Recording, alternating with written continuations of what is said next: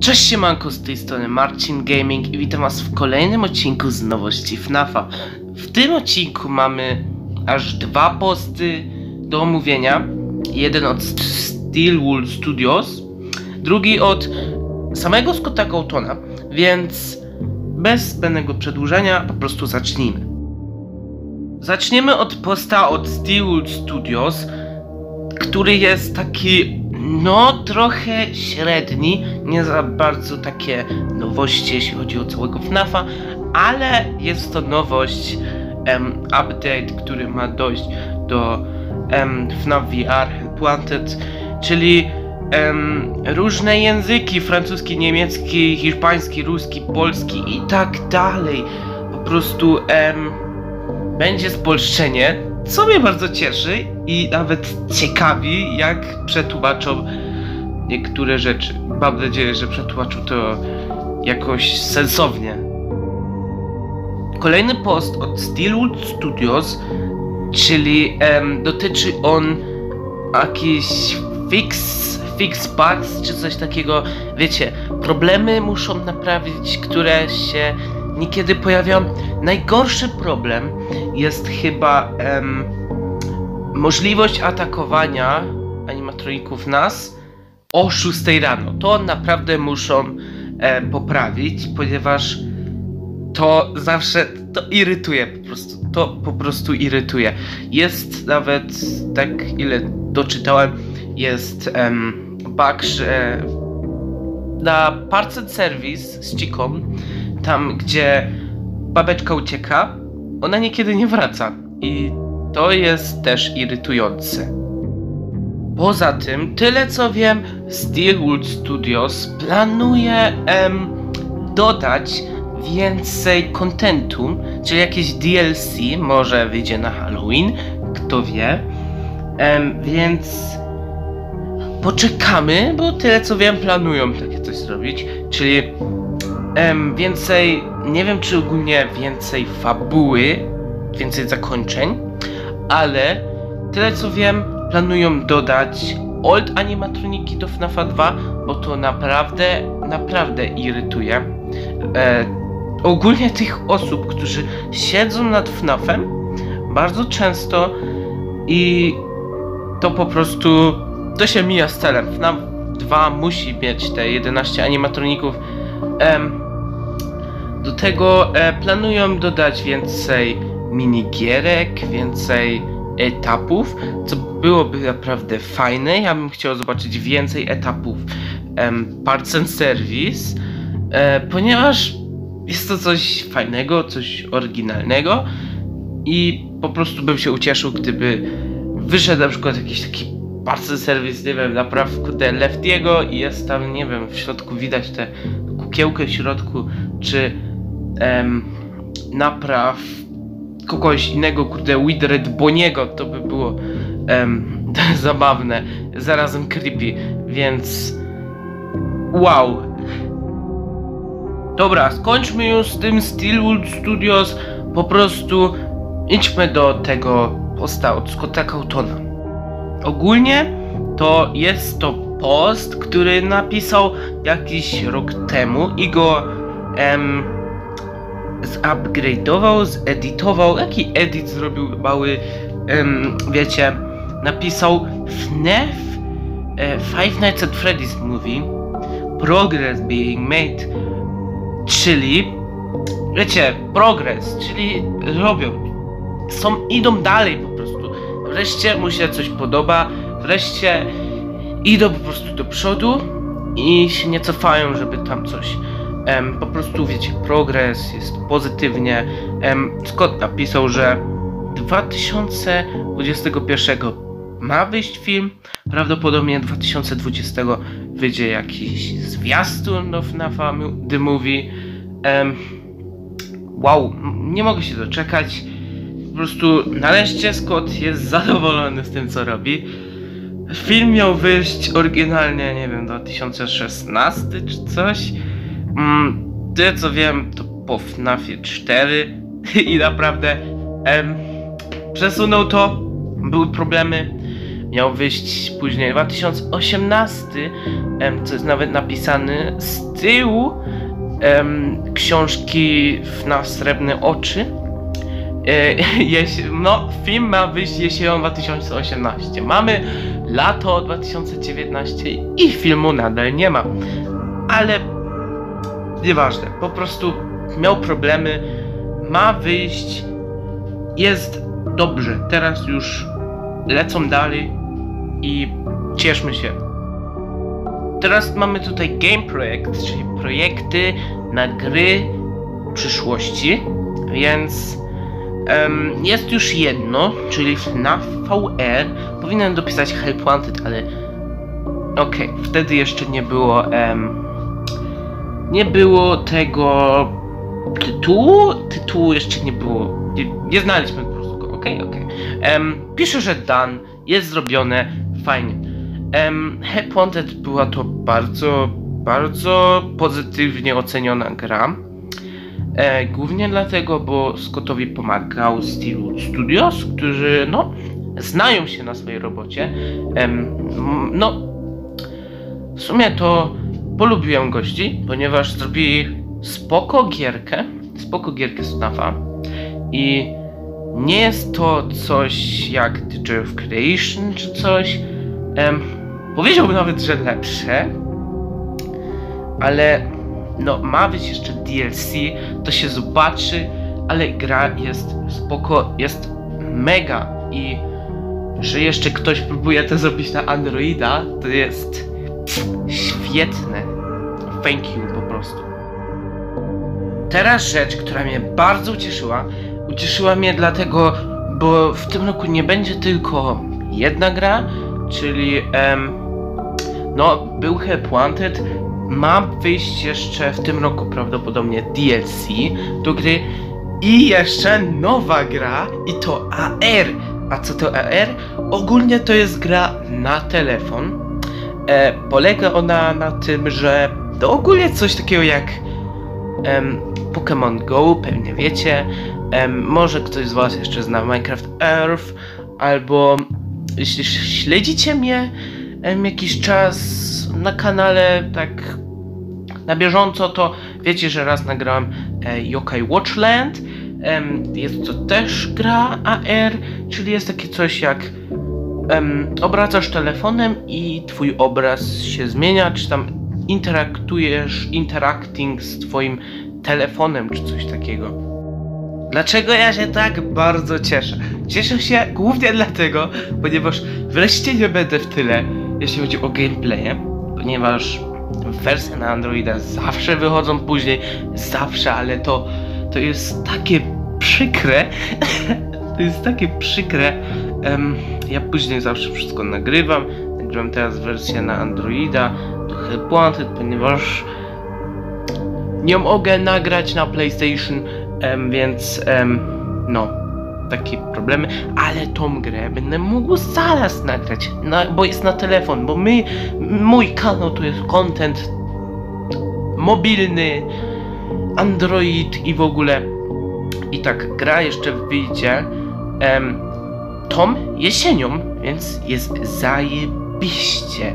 E, napisał on, że e, są, że w ogóle graficy zrobili mega, mega świetną robotę i że gra wygląda świetnie.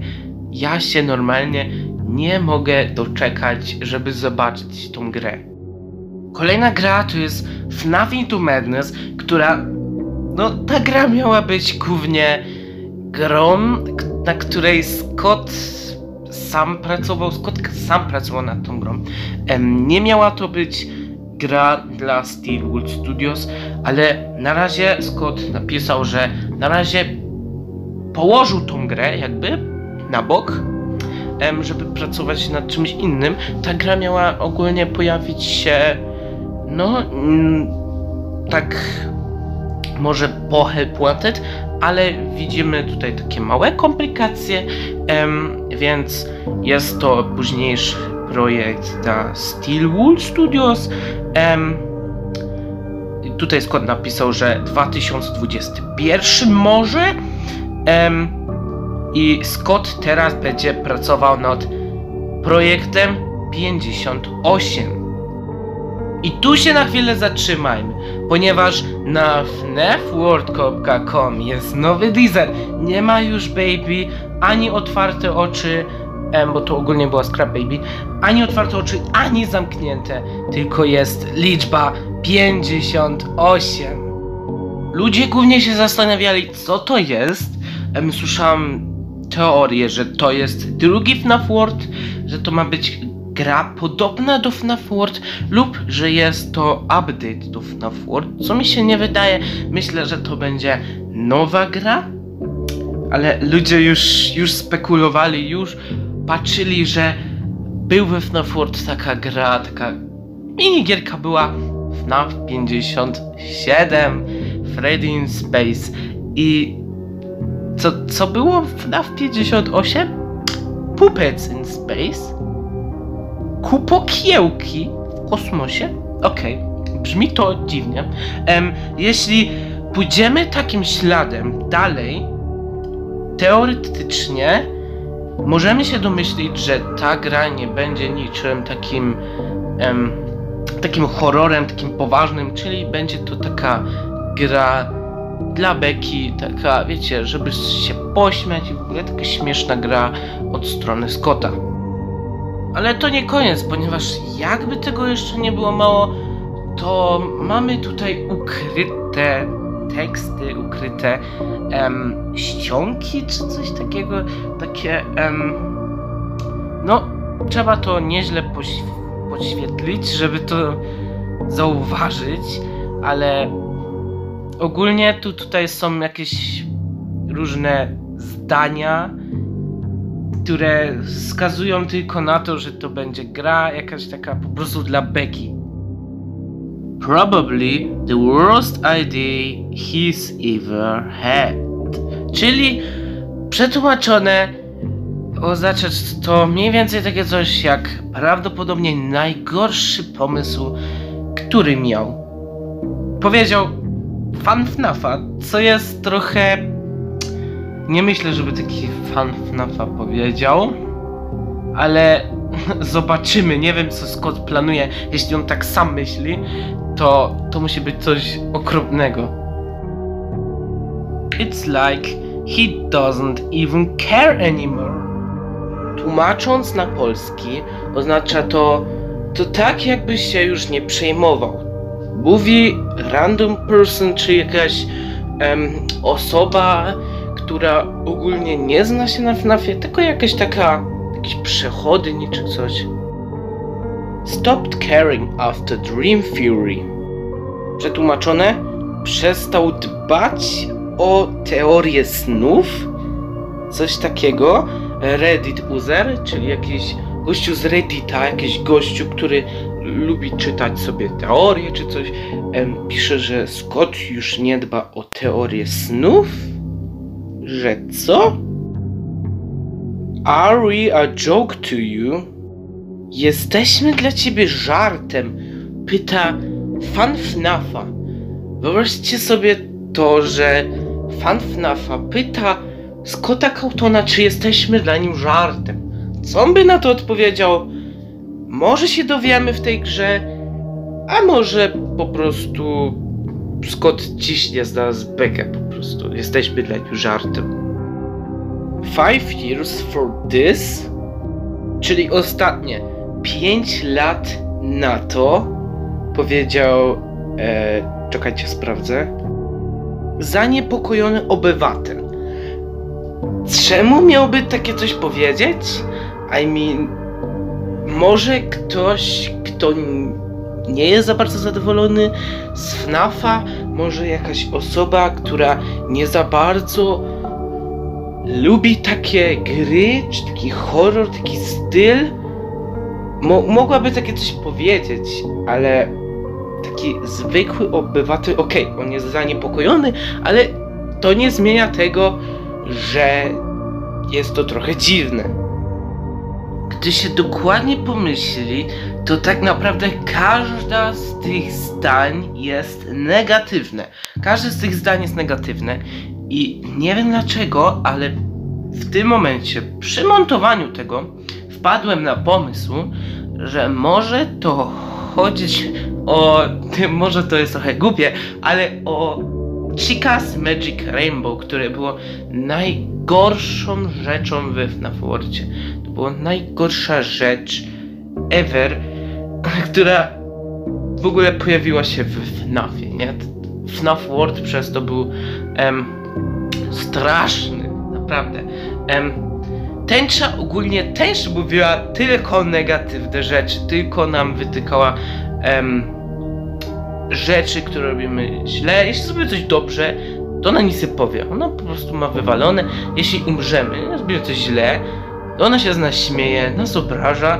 Em, to, to nie jest, to nie, to nie było fajne, to, to wcale nie było, to by go wkurzało, to naprawdę, to było chore, to było nienormalne.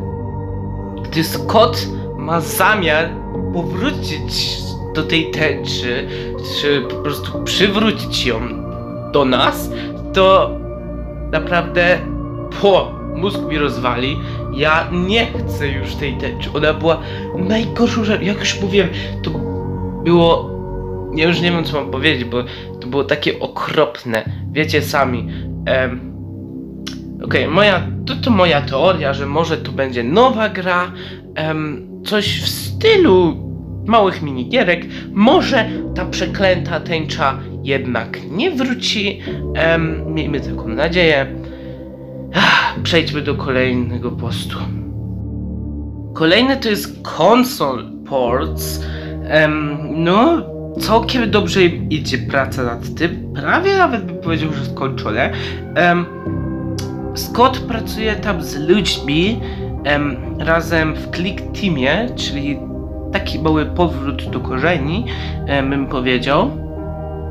E, napisał, że remake'ują coś takiego oryginalne części, oryginalne części FNAFa, czyli te wszystkie cztery, cztery gry, e, ale tam słyszałam o Dałku coś, że chyba FFPS też był zremakeowany na telefon em, przez Scotta Cautona, więc może Location i FFPS też będzie na telefon, może nawet Ultimate Customer to się zobaczy. Em, I tak, tak, jak już słyszeliście, będzie na Androida, będę miał co nagrywać. iOS, Switch, Xbox, PlayStation. To wszystko pojawi się em, 2020 roku, czyli za rok ma się pojawić. Miejmy nadzieję, że nic się nie zepsuje, nic się nie spatraczy i w ogóle, żeby było po prostu ok i żebyśmy mieli ładnie co nagrywać po prostu, bo no. Ale poza tym, jeśli nie będzie gameplayu Snafa, to oczywiście będą jakieś e, teorie, e, opowieści, książki jeszcze przeczytam i będzie spoko o, ogólnie, więc mówię, że e, mój kanał nie umiera. Okej? Okej. A tu epicka rzecz, naprawdę, naprawdę epicka rzecz. To jest rzecz taka duża, że rozwala mózg. To rozwala mózg. Mm, ogólnie to jest AAA, AAA game 3A. Em, gra bardzo zaawansowana, jeśli chodzi o grafikę i w ogóle gameplay. Jest ona jeszcze nietknięta, ty, ty, co widzę, ale Scott napisał, że to będzie multiplayer. Multiplayer FNAF to jest. Pło, co to ma być w ogóle? To rozwala normalnie mózg. To. To rozpierdala mózg. Ale dobra, ogarnijmy te emocje. Proszę, uspokójcie się wszyscy. Głównie też ja. Więc Scott tu jeszcze napisał, że em, no jak widać gra jeszcze jest nietknięta, jeszcze nie zaczęli nic robić, ale prawdopodobnie, czy tam em, nieprawdopodobnie, nadzieją, z nadzieją, Scott ma nadzieję, że zaczną za niedługo robotę nad tym. Za niedługo mają zacząć, taką ma nadzieję Scott, em, ponieważ mają naprawdę, naprawdę spoko pomysły i gra jest planowana, wyjście gry jest planowane na 2021. Mamy 2019 rok, a Scott już planuje, co będzie w 2021. To jest. Em, to jest świetne, ponieważ on nas nie tylko informuje o tym, co będzie w przyszłości, ale też możemy sobie pomyśleć, e, na czym to będzie polegać. I tak to, co wymyślimy, em, pewnie będzie błędne. tak samo jak było w przypadku Help Wanted. Ale tak, e, nie mógłbym się doczekać. Po prostu multiplayer. Może to będzie coś typu. Jak to się nazywa? Secret Neighbor? E, wiecie, ten Hello Neighbor. Jest, jest Hello Neighbor Hide and Seek, taki em, mały. Em, mała kontynuacja chyba, a raczej nie kontynuacja, tylko to, co się działo przedtem. I taki em, fun.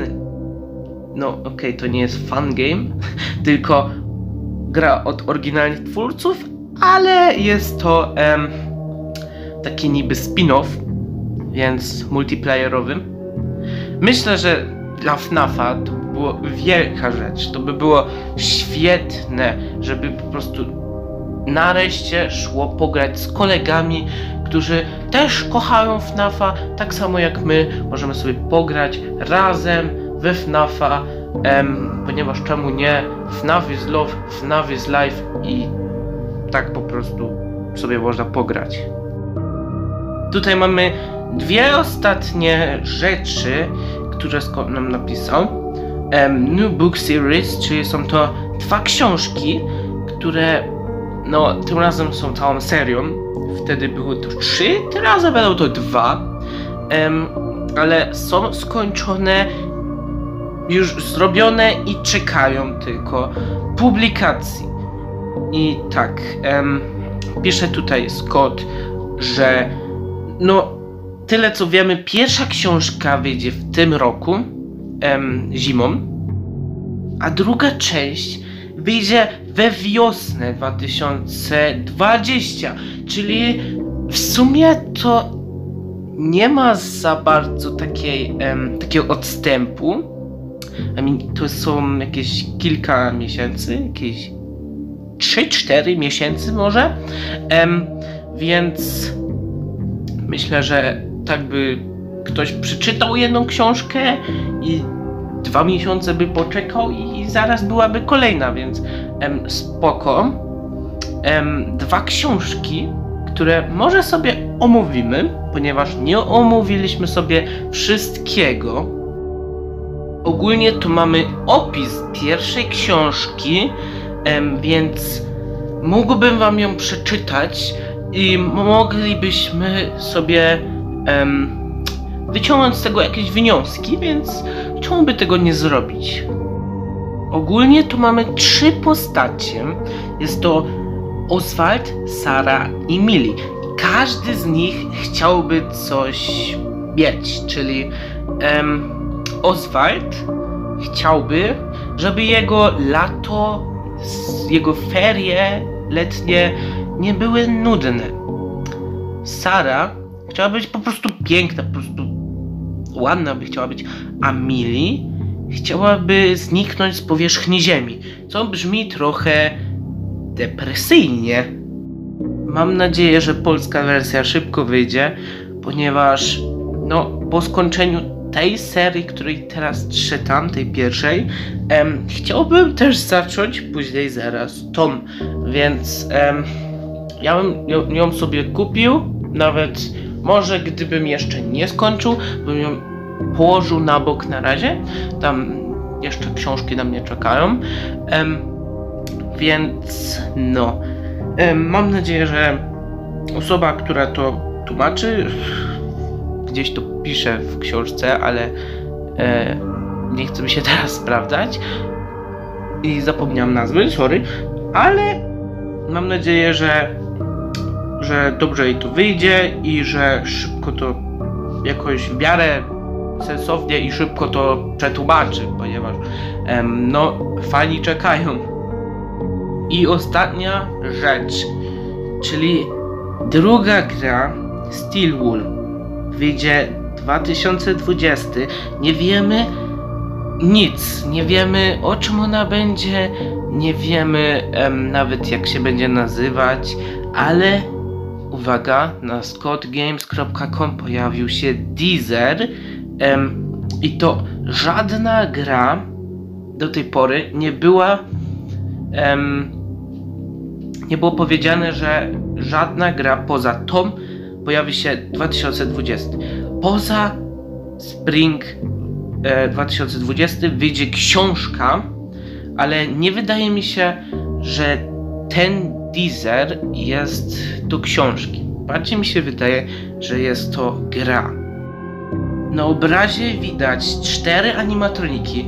Całkiem po lewej jest to Chica, trochę bardziej Toychika, bym powiedział, em, ale te pióra u góry, te włosy ma dłuższe. Do tego może to być jakaś, może nie Rockstarcika, bo Rockstarcika już mamy, ale jakaś em, podobna do Rockstar, Chica jakaś, em, nie wiem, jakaś nowoczesna czy coś, ponieważ widzimy tutaj dużo światła LED i w ogóle obok mamy Frediego oczywiście. I po prawej mamy jakiegoś prawdopodobnie nowego animatronika. Em, przypomina mi on krokodyla, nie wiem czemu, ale to się w sumie zobaczy. I ostatni całkiem po prawej jest to em, myślę, że jakaś dziewczyna, ponieważ widzę, że ten animatron ma długie włosy i spódnicę. Em, trzyma nogi u góry, jak taka. Em, no, dziewczyny zazwyczaj tak robią.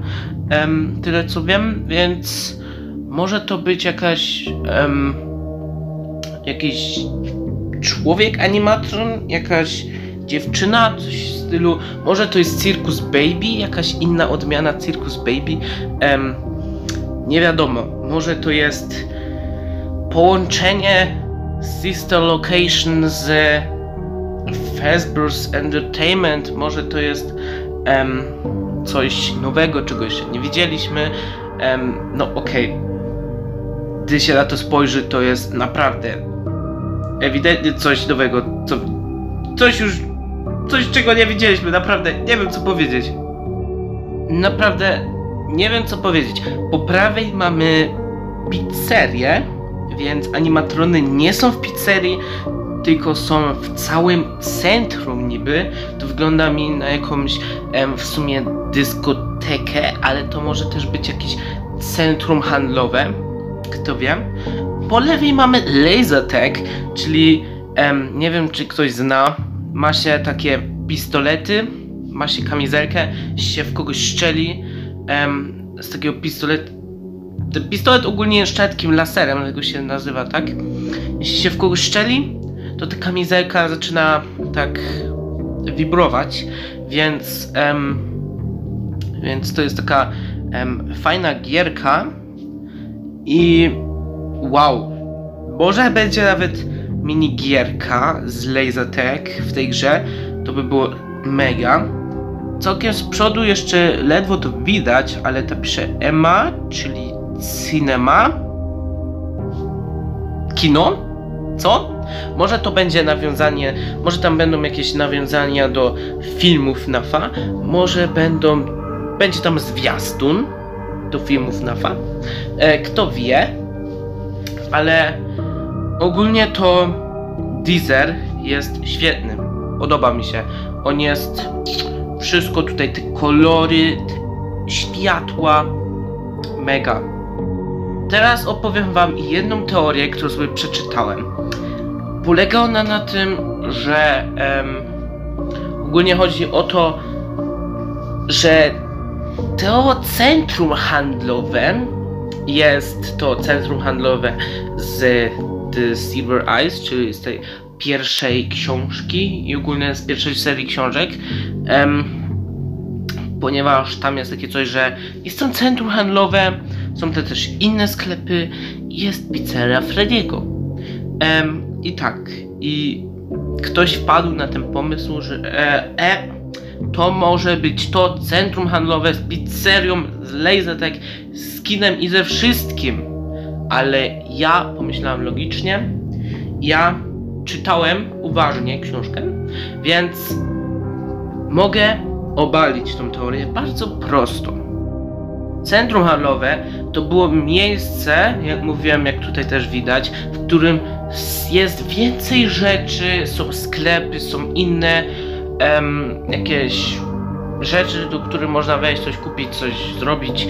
Em, jest też pizzeria Frediego, tylko że w książce tylko w pizzerii Frediego są animatrony. W książce oni wchodzą do centrum handlowego, przechodzą przez ten centrum handlowe do pizzerii Frediego. Oni nie są w centrum handlowym, oni przez centrum handlowe przechodzą do pizzerii Frediego. Tak to wygląda w książce i to nie jest nawiązanie do książki, ponieważ jak mówiłem w książce oni przechodzą przez te centrum handlowe, które jest nawiedzone, opuszczone przez Freddy Fazbear's Pizza, ponieważ Freddy Fazbear's Pizza jest w centrum handlowym w środku, dlatego musieli zamknąć całe centrum handlowe przez morderstwa Williama, ale em, ogólnie to to nie może być nawiązanie do książek, już zaraz mówię, ponieważ to jest totalnie co innego. Pomijając fakt, że były tam oryginalna czwórka animatroników Freddy, Chica, Bonnie, Foxy, nie było żadnego jakiegoś krokodyla, nie było jakiejś takiej em, jakiejś dziewczyny animatron, Circus Baby, nie wiem kto to jest. Em, czytałem, do tej pory nie było ani wzmianki o takim czymś, em, więc no jest to po prostu moim zdaniem teoria po prostu obalona i tyle. Teraz przedstawię wam moje teorie, czyli mogą to być wydarzenia po FFPS-ie, może nawet po Help Wanted, ponieważ wiem, że Help Wanted to jest em, gra stworzona przez em, Fazbear's Entertainment po FFPS-ie, po tym wszystkim, co się wszystko stało, oni chcieli to em, no po prostu pośmiać się z tego po prostu, powiedzmy tak. Em, I myślę, że to by mogło być dalej, to mogłoby być kontynuacja tego, co się stało na przykład z Glitch Trapem, ponieważ nie wiemy, co się z nim stało. Stylistyka nowoczesna, em, może bym nawet powiedział komputerowa, em, pasuje całkiem do motywu Glitch Trapa.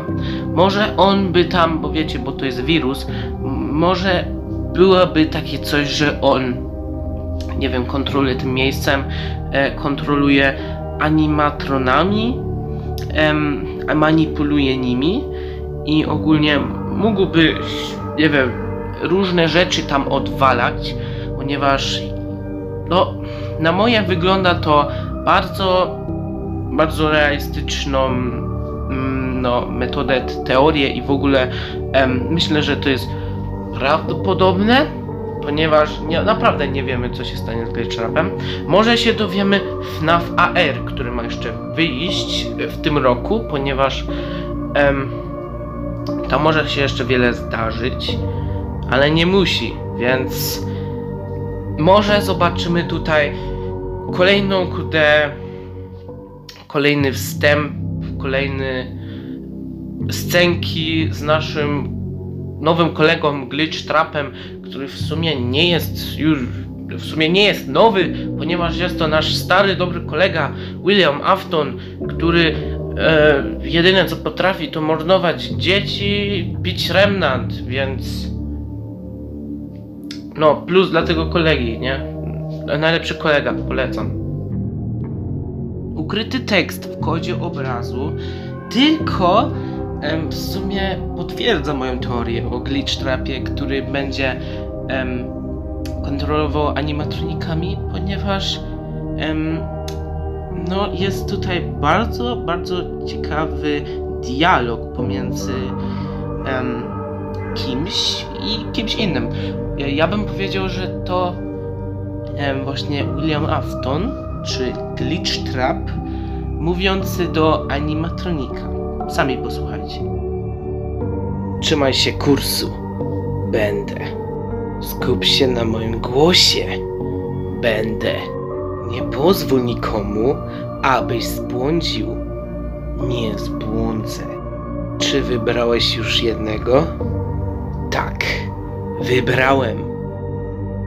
Dzięki temu myślę, że moja teoria jest bardzo prawdopodobna do tego. Em, słyszy, słyszycie sami, możecie sobie jeszcze przeczytać, możecie sobie to sami przetłumaczyć, możecie zrobić wszystko. To po prostu potwierdza to, że William czy Glitch Trap, w sumie to samo, em, kontroluje, raczej manipuluje animatronikami. Dlaczego animatronikami?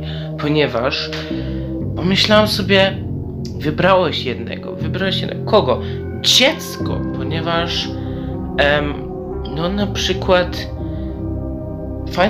Funtime, animatroniki były stworzone do zabijania dzieci. Oni mieli śledzić dzieci, wybierać sobie jedno dziecko, patrzeć czy jest same, a jeśli jest same, no to wiecie co się dzieje. Więc tak, to może być na tej samej zasadzie. E, tylko, że tym razem może to nie są animatroniki, które są stworzone do zabijania. Może po prostu em, William je prze, przeprogramuje, czy po prostu zmanipuluje im umysły, że po prostu tak się będą zachowywać. I tak, em, myślę, że to by był bardzo fajny pomysł, jeśli chodzi na fabułę. Do tego w plikach obraz nazywa się 9, czyli to może być jakieś nawiązanie do tego, że jest to FNAF 9. Em, to nie jest żadna ściema. Możecie sami pobrać na telefonie lub na komputerze. Możecie wejść na stronę Scott Games, nacisknąć sobie, przytrzymać, czy jak tam, em, wiecie, jak się pobiera obrazy. Mam nadzieję, że wiecie. Em, możecie pobrać obraz i zobaczyć. Plik obrazu nazywa się 9, co ewidentnie wskazuje na FNAF 9. Ej, stop, stop, stop, ponieważ mamy jeszcze jeden obraz do omówienia. Jest to właśnie ten, em, który nie pojawił się ani na Scott Games, ani na FNAF World, tylko w książce em, Updated Edition The Freddy Files, więc em, wiecie, w, w zwykły The Freddy Files był tam Deezer, głównie tam była Scrap Baby, to był Deezer do em, FFPS-a. Tutaj mamy jakby też Deezer, ale teraz uwaga, to nie jest Deezer do FNAF Help Wanted, a dlate, dlatego, ponieważ FNAF Help Wanted wyszedł przed oryginalną datą wydania książki, więc to nie może być teaser do Help Wanted. Nie, ponieważ jaki miałoby to sens dodać książki w książce teaser, która się pojawia po, grze, po, po oryginalnej e, po oryginalnym wydaniu gry. To nie ma po prostu sensu i to się mija z celem. To, to okracza w ogóle, wykracza mózg w ogóle rozwala, nie? Bo, ponieważ to nie ma sensu. Dlatego to może być Deezer albo to Into Madness, które położyli teraz na bok i dlatego myślę, że to jest mało prawdopodobne, albo do FNAF AR, który ma się pojawić e, za niedługo, czyli w sumie jest to em, w tym momencie najbliższa gra, która nas czeka. Po tym będzie książka. E, I a propos książki, styl graficzny wygląda bardzo podobnie do do pierwszej książki, tej nowej. No więc. Ale myślę, że do książki to raczej nie będzie. Dla, dlaczego? Ponieważ teaser do książki, no. Jest to trochę dziwne, ponieważ w książce myślę, że nie będzie chociaż, no nie będzie obrazów, jak w, w tej aktualnej serii książek nie ma obrazów, to myślę, że w tamtej też nie będzie, ponieważ no po co? Nie jesteśmy dziećmi. Jak mówiłem, jest możliwość, że Glitch Trap się pojawi em, w grze, która się pojawi 2020, więc może to jest teaser właśnie em, do tej gry. Jest możliwość, jest taka możliwość, em, tylko okej, powiedzmy tak, em, czas pokaże. Myślę, że moja teoria, jeśli chodzi o tą nową grę, Steel Studios jest bardzo, bardzo ciekawa, ponieważ jeśli pojawił się Glitch Trap, może w takiej odsłonie takiego pół Spring Trapa, pół e, Scrap Trapa, Glitch Trapa, nie wiem, to wygląda jak połączenie wszystkich trzech trapów, em, oczywiście nie licząc plusz trapa. Em, no to myślę, że to tak trochę, no wygląda to trochę, e, no nie wiem jakby to powiedzieć, tak narysowano nie tak jakby to było w grze. Może to jest po prostu art, taki artwork ze strony Scotta czy Steelwood Studio, ale ogólnie mogłoby się, mógłby się pokazać taki koncept. Em, czemu by nie? Em, ostatnio też em, ludzie dużo spekulowali na temat zakończeniu FFPS-a, że William jest gdzie indziej, a nie w em, między ścianami, że on jest gdzieś w lesie, gdzieś między drzewami, nie wiem o co chodzi, em, że przeżył. Nie rozumiem. Nie wiem, te wszystkie teorie po prostu mieszają mi w głowie, em, ale jeśli chodzi o moją teorię, e, no to ta oto teoria, którą wam przedstawiłem o tej grze powinna wam wystarczyć. Jest ona bardzo prawdopodobna, bardzo fajna i, i spoko. Spoko jest, będzie fajnie, będzie multiplayer, będzie dużo gier na telefon, które będę mógł wam nagrać oczywiście. Będzie e, film, będą książki, będzie dużo, dużo kontentu, e, dużo filmów na mój kanał e, FNAF-owych, żeby wiecie, kanał się utrzymał, bo ogólnie to jest no, kanał FNAF-owy i tyle. Więc oczywiście mogą być jeszcze em, inne gry. Oczywiście, zawsze tak musi być, ponieważ em, nie będę was ciągle, kurde, karmił jednym i później wam się nie będzie chciało, będziecie żygać em, wszystkim, co zobaczycie. Więc to, to tyle. Więc FNAF się nie skończył, tak jak ludzie mówili, że FNAF jest, kurde, martwy, że jest zakończenie. Ludzie, zakończeń to miało być już, kurde, ile? FNAF 3, FNAF 4, FFPS. Mi każą, no 4 już miało być zakończenia. Już 4. Em, I myślę, że piąty też nadejdzie, szósty też może. Em, oczywiście zawsze ktoś napisze, że to koniec FNAFa. Nawet Scott Cawthon sam tak napisze, to koniec FNAFa i poczekajcie jeszcze pół miesiąca, to wyjdzie kolejny, kolejna część. Okej, pół miesiąca może nie, ale pół roku może i będzie nowa część. Em, zawsze tak jest, em, więc no. Powiedzcie, po co Scott miałby em, kończyć z FNAFem?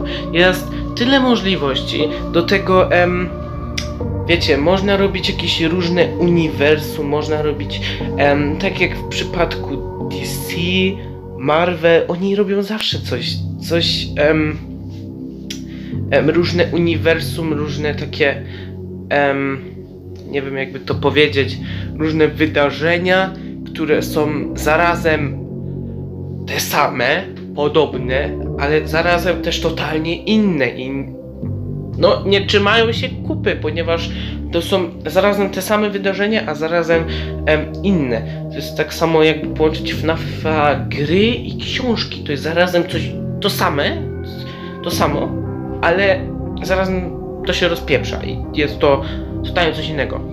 Em, więc można by powiedzieć, że FNAF się nigdy nie może skończyć, ponieważ można wziąć główną historię, przebudować, można zrobić zawsze coś nowego z tego, co się ma, em, z, tych, z tego głównego kontentu i się zrobi coś, coś nowego.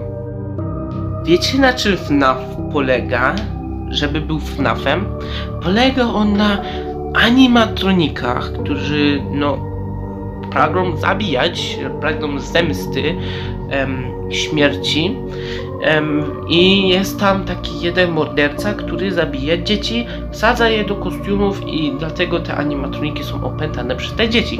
I to jest właśnie em, główny taki base FNAFa, taki główny, główna fabuła, bym powiedział, główne rzeczy, które tworzą, że to jest Five Nights at Freddy's.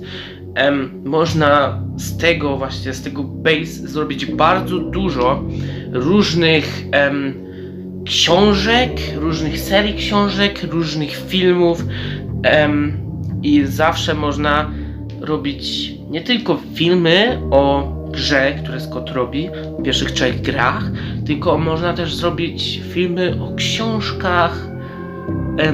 No, zawsze można coś wymyśleć, więc em, to jest to samo jak jak z Minecraftem. Minecraft ma 10 lat i jakoś się trzyma, ponieważ no wtedy był taki popularny i w ogóle wszyscy grali Minecrafta.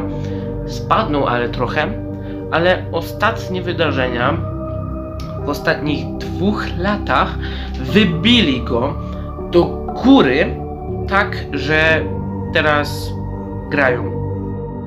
Tak samo jest z FNAFem i zawsze będzie, tylko że do tej pory ludzie nie mieli takiej em, możliwości, em, że jakby to powiedzieć, przejdziesz grę i przeszłeś grę. Do tej pory tak to wyglądało. Ale mm, teraz jak pomyślałem nad tym, to AAA game, multiplayer, do tego zawsze można wracać i zawsze grać em, w multiplayer, to się nie znudzi, ponieważ em, grasz z kimś i zawsze można jakieś śmieszne rzeczy, kurde, em, odwalić, zawsze można dodać jakieś śmieszne tryby, śmieszne różne rzeczy, jakieś DLC dodawać, em, update'y i różne takie rzeczy. Tak samo jak dodadzą jeszcze DLC do, do Help Wanted, żeby było po prostu więcej kontentu, żeby ta gra się tak po prostu nie znudziła ludziom tak szybko, bo ma potencjał, jest dobra i czemu by tego nie wykorzystać? Dobra, dzięki za oglądanie, słuchanie mnie przez prawie 50 minut. tak, będzie dużo montowania i w ogóle. Ale naprawdę dziękuję, mam nadzieję, że doceniliście to jakąś łapką, jakimś fajnym komem, komentarzem, subem, jeśli tego nie robicie. Tak, i mam nadzieję, że zobaczymy się w innych filmach. Trzymajcie się, bye, cześć, pa!